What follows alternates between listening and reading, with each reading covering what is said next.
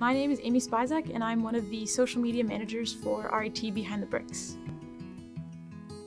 I think a lot of people don't know what Behind the Bricks is. We have around 20 different departments that we help support with their social media and communication, a lot of content strategy that we do, and helping these RIT brands.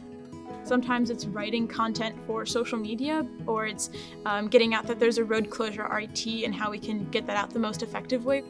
So the content really varies if it's visual or communication.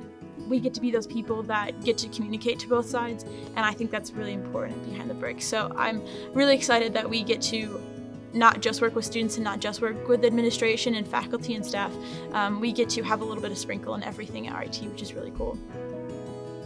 RIT's atmosphere is so great for fostering the, this idea of you can be busy and you can do everything.